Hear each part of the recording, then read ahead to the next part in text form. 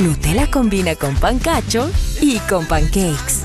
Sorprende a tu familia con el sabor único de Nutella. Todos tus desayunos combinan con Nutella. Fin de espacio promocional y publicitario. Usted escucha la revista de opinión Democracia.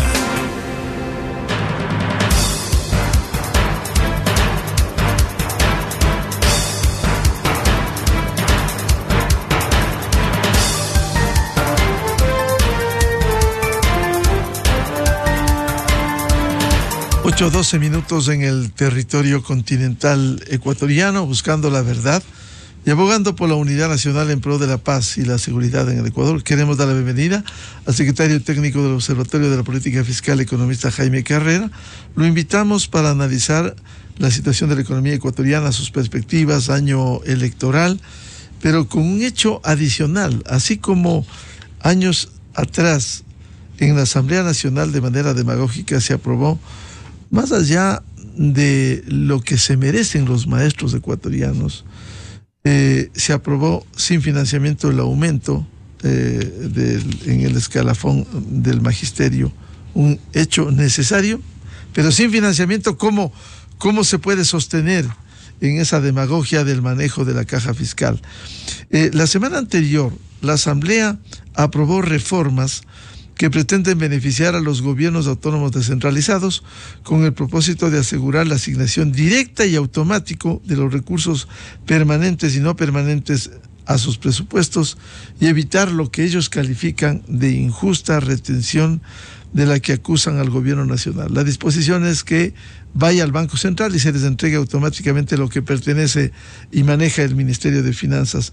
El proyecto fue aprobado con 106 votos, la demagogia uh, esplendor, y que fue celebrado por la mayoría de asambleístas, alcaldes, prefectos, miembros de juntas parroquiales, pero que en la práctica resulta otro acto de demagogia en medio de un ambiente preelectoral con miras a los comicios presidenciales y legislativos de febrero próximo. ¿Cómo viabilizar estas disposiciones de entregarles automáticamente eh, a los gobiernos locales? Economista Jaime Carrera, buen día.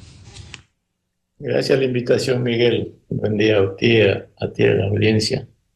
Mira, no es este no es un acto no solo de demagogia, es un acto de absoluta irresponsabilidad con el país. La, asamblea se caracteriza por eso y esto evidencia. Los políticos en la asamblea, la única, la única norma que tienen en el Ecuador es destruir al Ecuador. Y en esto es importante hacer algo de historia. En los últimos 40 años, siempre los gobiernos seccionales han sido causa de, de desestabilización de las cuentas públicas y de la economía. Durante muchos años lucharon porque, porque les den preasignaciones.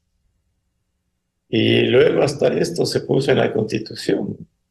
La misma preasignación del 21% de los ingresos permanentes y del 10% de los ingresos petroleros. Ya es una severa restricción al manejo sano de las cuentas públicas preasignar estos recursos.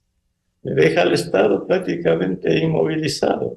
Si a eso agregamos la preasignación a las universidades, que es alrededor del 10-11% del IVA y de la renta, bueno, el Ecuador queda totalmente desprotegido para manejar sus cuentas públicas.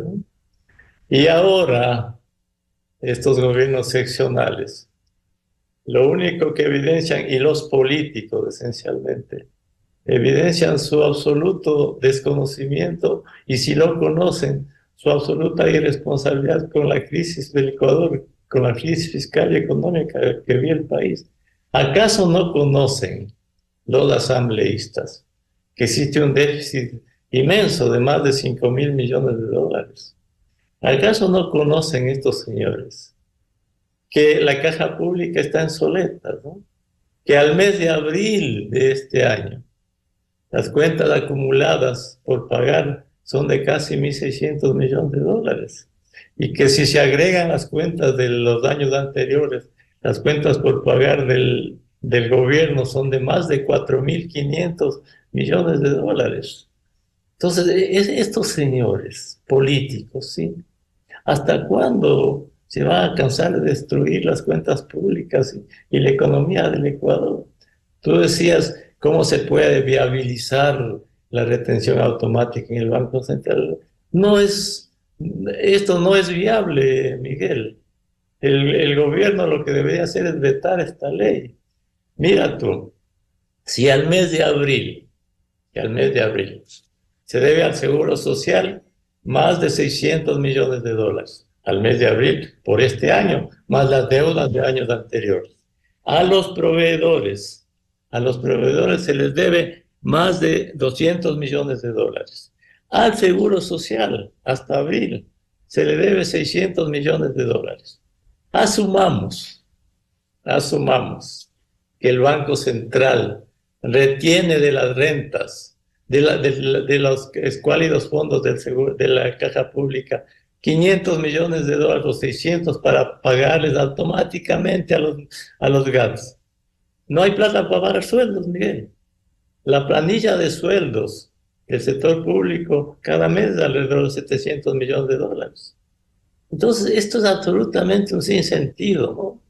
Es decir, eh, eh, eh, o es un desconocimiento total de la realidad económica y fiscal del país, o si lo conocen, bueno, es, es una irresponsabilidad de un tamaño inadmisible en el manejo de un Estado, ¿no? y además inadmisible con las responsabilidades que se debe tener con la sociedad en su conjunto, ¿no? Con la economía, con los pobres. Es decir, pretender, pretender que automáticamente de las cuentas públicas se retengan y se entreguen a los municipios es algo totalmente contrario al manejo de responsabilidad fiscal. Es deteriorar aún más ya las las cuentas fiscales. Entonces, digamos que el 40% de pensiones también lo retengan, ¿no? o también para los proveedores. Pero además, así se quisiera que el Banco Central retenga estos fondos y los acredite automáticamente a los municipios o a otros. Simplemente la caja pública no tiene dinero. Miguel, no tiene dinero. Mira tú que en este momento, en este momento, las reservas internacionales, ¿sí? que están en el Banco Central, solo cubren los dineros del, del sistema financiero privado, que son nuestros ahorros, y del sistema financiero público. Pero las cuentas públicas del sector público, del Tesoro Nacional, de los municipios, de los mismos GAT, no tienen financiamiento de la reserva. No hay. Es decir, no hay cobertura de eso. Y sobre eso se quiere que haya una retención automática.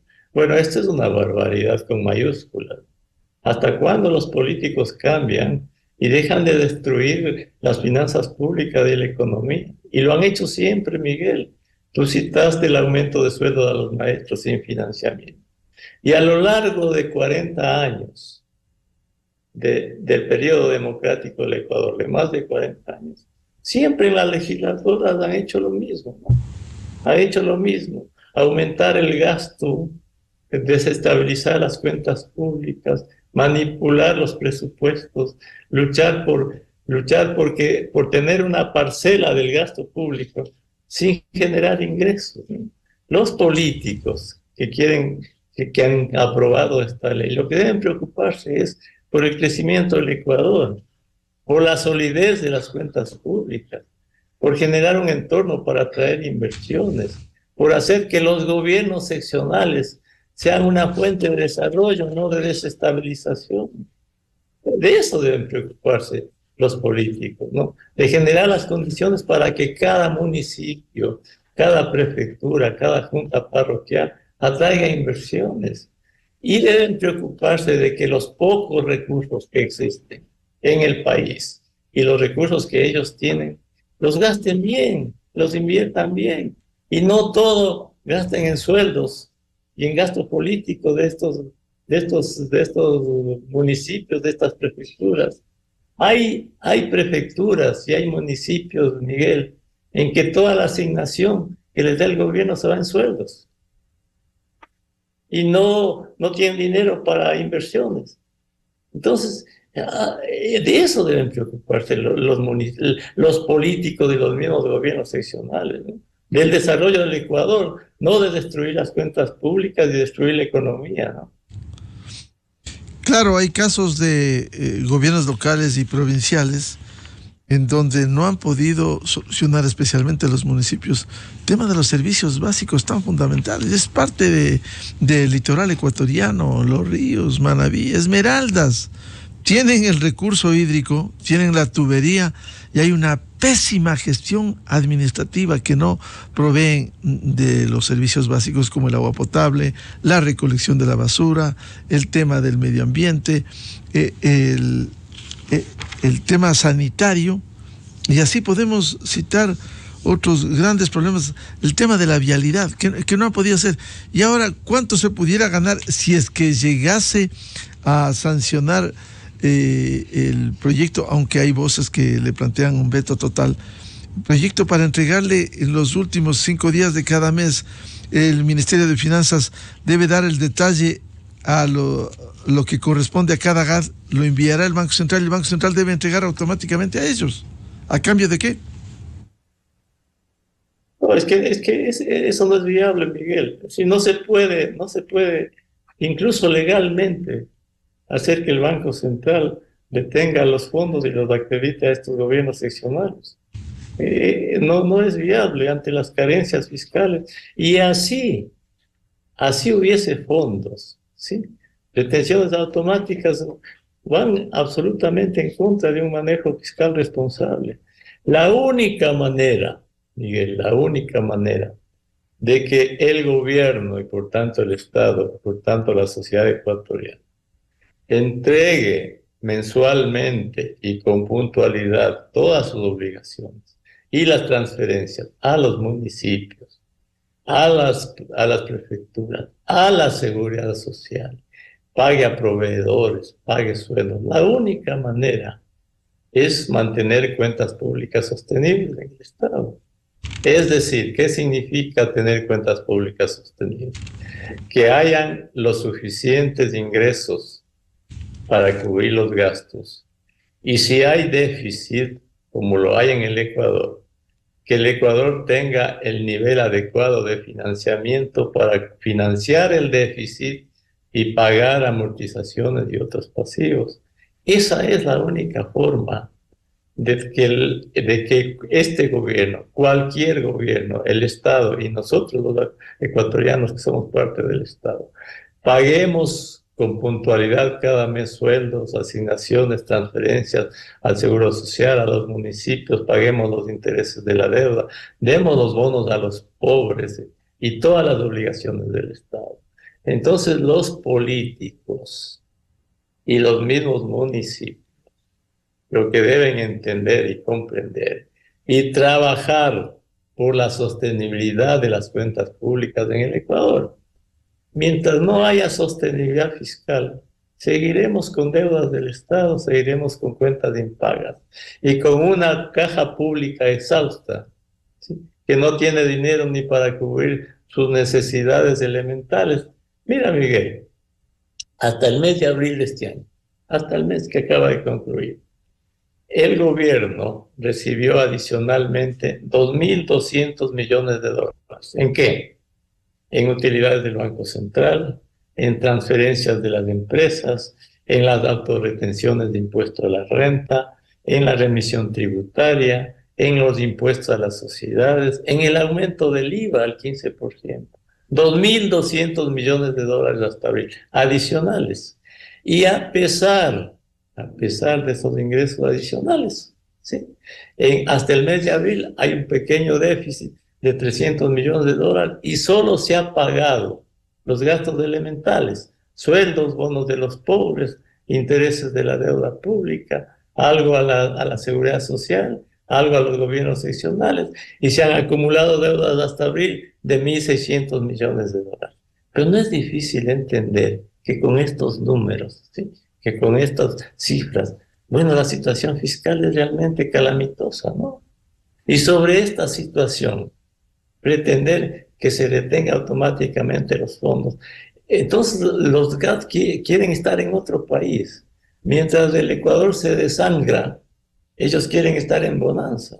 No, la crisis es para todos. Si no hay, si no hay dinero, si no hay dinero en la caja pública, bueno, se a todo el mundo como lo está haciendo ahora el gobierno, porque no hay plata. O sea, no hay plata, a pesar de que hayan mayores ingresos. Eh, economista Jaime Carrera, ¿y cuánto pudiera contribuir eh, en esta relación con el Fondo Monetario Internacional el oxígeno que le dé? ¿A, dónde va a ir esos recursos que se han acordado en principio con el Fondo Monetario Internacional? A ver, a ver, aclaremos aquí los conceptos incluso, ¿no? Primero, Miguel, hagamos un poco de historia, ¿no? En la pandemia, en el 2020, prácticamente el Ecuador estaba por explotar. No habían ahorros.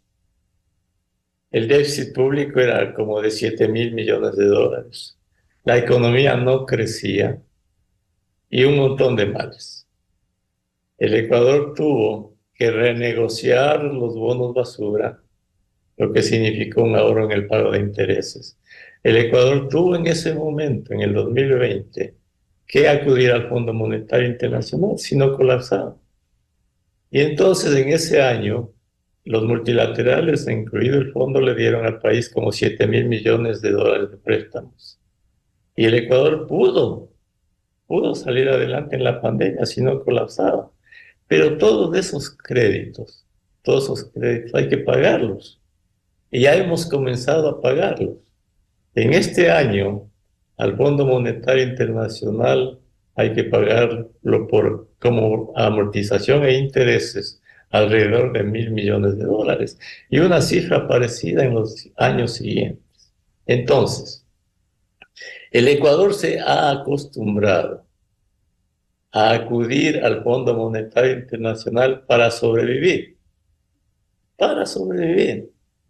Si hay un déficit en este año, es posible que sea entre 4 mil a 5 mil millones de dólares. Va a depender de qué hace el gobierno en el tema de subsidio y otras cosas más. Los préstamos de los multilaterales, entre esos del Fondo Monetario Internacional, lo que van a servir es en una parte quizá para cubrir ese déficit y en otra parte quizá para pagar las amortizaciones de ellos mismos u otras amortizaciones de deuda que tiene el país. Pero no podemos esperar que con los préstamos del Fondo Monetario y de los multilaterales haya más gasto público. Si hay un déficit entre 4 mil y 5 mil millones de dólares para cubrir el gasto público actual, y quizá algo más de gasto para luchar contra la inseguridad y tal vez por el tema eléctrico, ahí está por verse qué gasto se va a hacer en estas condiciones. Bueno, las préstamos del fondo lo que sirven es, y de los multilaterales para sobrevivir, financiar el déficit en parte y pagar las amortizaciones de deuda en parte. Habría que ver cuáles son los números y qué, y qué flujos de, de recursos hay en el, hay en el, de los de estos organismos multilaterales, ¿no? Pero, pero pretender que, que con estos préstamos del Ecuador va a tener una bonanza de dinero para gastar, eso no es correcto. Es decir, estos créditos van a ayudar a financiar el déficit dentro de una estructura de gasto que es inflexible y a pagar algo de amortizaciones. Y además no va a ser suficiente, Miguel vamos a tener cuentas por pagar elevadas y quizá hasta superiores. Va a depender de cómo evoluciona el fisco hasta fin de año y cómo, cuáles son los flujos de estos organismos. Pero va a haber, yo incluso creo que esto va a ser insuficiente para cubrir las necesidades de financiamiento. Esperemos cómo fluyen los, los recursos. Pero estos créditos, mira tú que el crédito del Fondo Monetario de 4 mil millones que se habla en cuatro años, es una cifra casi igual a lo que hay que pagarle al fondo por amortizaciones de intereses en cuatro años. Ese es, es, el flujo de recursos. Entonces, el tema de fondo del Ecuador es que se ha acostumbrado a sobrevivir con los créditos de los multilaterales y no entiende que tiene que haber reformas para reducir el déficit y hacer crecer la economía. Pongamos números. ¿Qué va a pasar en este año? La economía a lo mejor no crece, hasta decrece. Y si hay un déficit, pongamos la cifra de 5 mil millones de dólares en este año. Y la deuda pública en este momento, esto de deuda es de 72 mil millones de dólares. Si nos endeudamos en 5 mil millones más, tendríamos una deuda de 77 mil millones de dólares sin considerar otras obligaciones como CETES y otras cosas. 5 mil millones para 72 mil, la deuda crecería en casi el 7%. La deuda crece en 7% y la economía no crece. Entonces es una ecuación perversa. Entonces sube la deuda y después los próximos años tenemos que pagar más amortización de intereses por una, crece, por una deuda que crece. Y cuando tenemos que pagar, ahí el Ecuador se lamenta, ¿no? Dice, ¿cómo vamos a pagar la deuda pública? Pero bueno, nos endeudamos y la economía no crece. Y el gasto crece. Mira tú en este, en este año, Miguel, el, el pago de intereses de la deuda con los multilaterales, Fondo Monetario, Banco Mundial y otros, el pago de intereses crece en 500 millones de dólares. Es decir, vamos a pagar 500 millones más de dólares en intereses. Y a la seguridad social tenemos que pagarle 500 millones más por el 40% de pensiones. Solo en estos dos rubros, el gasto corriente crece en mil millones de dólares este año. Ese es el Ecuador. Entonces hay fundamentos de manejo fiscal y económico que, mi querido Miguel, no se entienden en el Ecuador o si se los entienden, no se los quiere enfrentar. Estamos acostumbrados a sobrevivir. Tenemos una adicción a la sobrevivencia y no a hacer las reformas para progresar. Entonces, hemos normalizado el, el desorden fiscal, hemos normalizado una economía pobre, hemos normalizado la irresponsabilidad de los políticos, Hemos normalizado la irresponsabilidad de las élites económicas, sociales, políticas. Hemos normalizado la corrupción. Hemos normalizado el desorden de la sociedad.